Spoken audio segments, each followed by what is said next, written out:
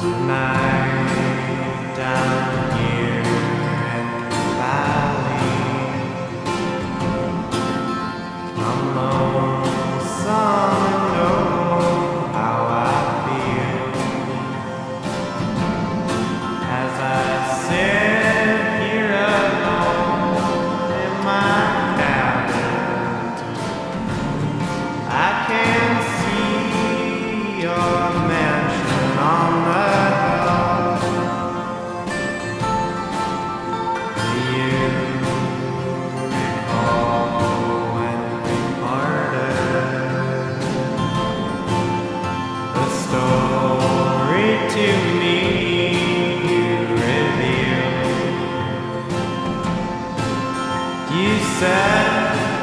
You could live without love, dear,